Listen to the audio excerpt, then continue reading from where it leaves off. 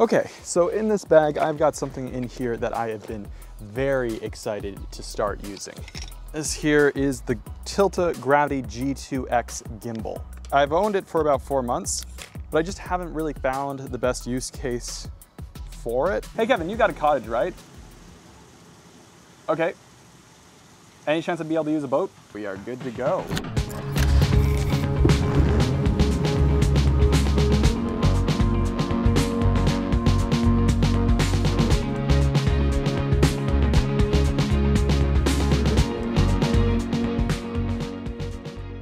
Okay, I don't know where everyone is, but I'm gonna start unpacking and getting uh, this whole thing rigged up and set up um, just because that's uh, th that was my goal today. I wanted to really challenge myself to use a tool that I'm not comfortable with and a tool that I don't really like that much. I hope you guys don't hear what I'm saying and think to yourselves, oh, don't buy the Tilta um, gimbal. I'm saying that you guys should consider and think through these uh, possibilities and think through what I'm saying about all gimbals. Um, really, they all seem to have these similar problems. Doesn't matter if you get the DJI, doesn't matter if you get something from uh, Benro or the, the Weebill gimbals. There's some gimbals that are just straight up bad.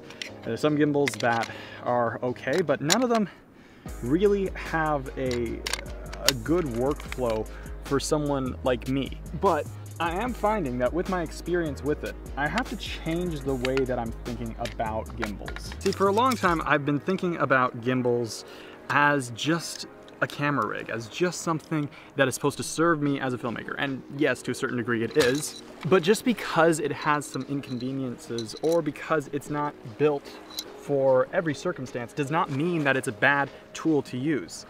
Uh, here, let me pull out another example.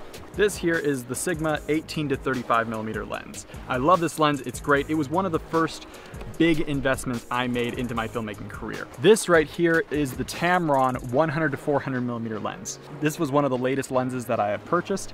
Honestly, I have purchased this thing and knowing that I wasn't gonna use it that often, knowing that it was made for very specific circumstances. I wasn't gonna vlog with this lens. I wasn't gonna go ahead and start filming commercials with this lens. This lens is made for nature photography or maybe for uh, some sporting events, something along those lines. Now, was I upset when I found out that this couldn't do everything that this could do? No, because I expected it. That's something that these tools are made for. This and this are very similar. They both are very niche tools that have their place in their own way. Some photographers will only be carrying this lens and will only be needing something like this. For myself, I don't use it that often and I don't beat myself up for it and I don't think that it was a total waste for me investing in a telephoto lens. It's just doesn't suit every need. And this gimbal is very much like this lens.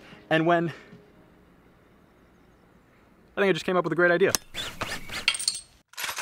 And now look at us, we're ready to go. We're at 200 millimeters on the Fujifilm X-T2 on a gimbal.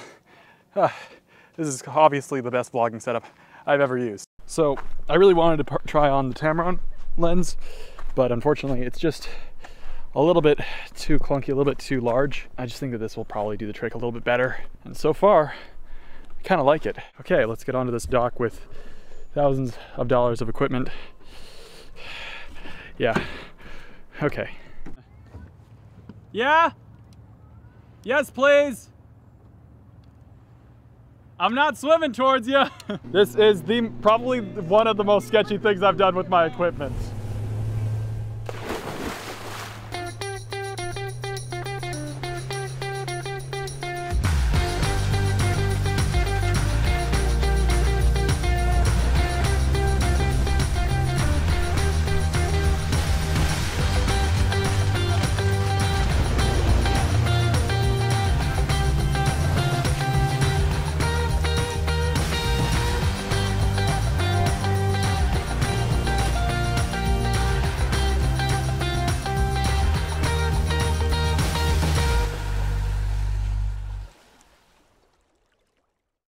Wow, honestly guys, I'm blown away with this footage. I think the gimbal did a fantastic job at just being able to take care of all of the, the shakes and the jitters from my own hands and my own body, as well as the boat itself. This boat is on unstable water, and it's hitting that water at 50 miles an hour. This is probably one of the most extreme examples of using a gimbal. Not only that, we're on a 200 millimeter lens. It's like looking through a pinhole and just trying to keep that straight. With a wide angle lens, things can look fairly stable. If you guys saw some of the behind the scenes shots that were taken, shot on a really wide angle lens, like 12 millimeters. And so the wider your field of view is, the less you notice things changing and things shifting about because it's not the same as when you're moving like this when you move that much with a wider angle lens, it's like, it's barely an adjustment. The things that are in the center are still somewhat in the center, as opposed to when you're tight on a lens, it can shift about all over the place and it looks like you're waving your camera around like a flag. Like, it's nuts.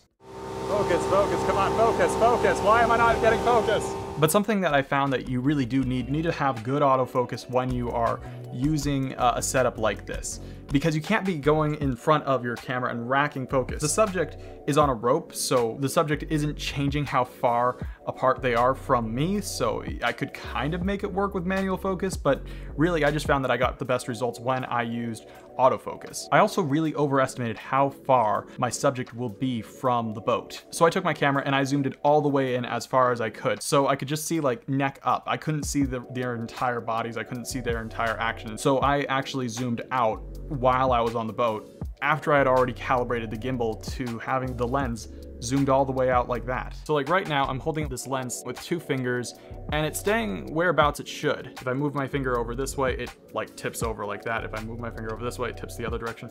So somewhere around there is, uh, is, is about the center of gravity. Now let's say I zoom in, the center of gravity has now changed this way. Zooming in and out, changes so much, it changes the balance of the gimbal. And once we reached shore and I turned off the gimbal, the, the head of the gimbal went like that. It flung backwards with the, with the lens hang, pointing upwards. Like it was very poorly balanced um, just because the lens was no longer zoomed all the way in like I had before. So that was my fault and that was my mistake. However, if you look at the footage, the motors are incredibly strong and they're compensating for uh, my stupidity. If you just look at these shots, they are rock solid. So am I happy with these shots? Am I happy with the gimbal and its overall performance? Absolutely. However, there's one thing that I need to bring up. As you saw in the video, I got there before everyone else did and I started setting up the gimbal. And I had a couple little problems setting it up and I had some some trouble here and there, and it took me longer than I had hoped, longer than it usually takes for me to balance this thing. And uh, my friends, they went ahead on the boat and they started water skiing without me. I don't blame them. I was taking way too long and the sun was setting and everyone wanted to have their turn. But I missed out on these opportunities. I missed out on shooting some some scenes. And I even thought, is this even worth it? Am I gonna get really stable shots if I use a gimbal? Like, can I just go handheld? And honestly, if I wasn't making this video and talking about this gimbal, I probably would have just done that. And I think that that would have been a big mistake. So these are some shots I took uh, a couple of years ago. Very similar setting, very similar activity, but we're also using two different boats. So it's not a perfect comparison, but I still think that you can get a general idea of the shots that you can expect when you're shooting handheld in a setting like this, and when you're using a good quality gimbal like I had. Oh, this is what this thing was built for!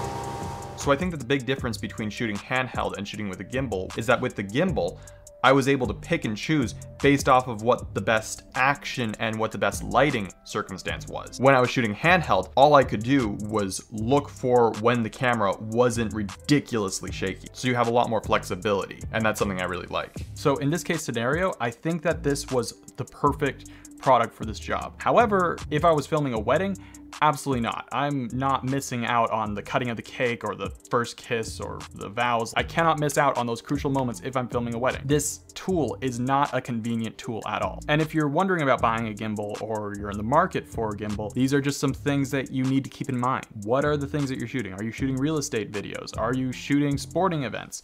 Or are you shooting weddings and commercials? Honestly, this whole experience has made me realize how much I miss shooting sports and shooting action. I, I love this so much. Um, and I had such a good time and I love the results I got. I think you really have to pay attention to what your gear is capable of and really tailor your needs and tailor the shooting style that you have towards your gear. If you're doing a lot of things that are planned out and you have everything figured out, then gimbals are really great for that. But if you're just running around and hoping that you're gonna get some great shots, the spray and pray technique where you just capture as much footage as you can and then condense it down and edit it into something that actually makes sense, this isn't the tool for you. So if you own a gimbal and you want to use it, think through some shots that you can only get with using a gimbal that you can't get with any other tool and use that in a way that's specific and add a lot of value to your production. Thank you guys so much for watching this video. Make sure you like, subscribe, do all that jazz, and I will see you next time. Take care.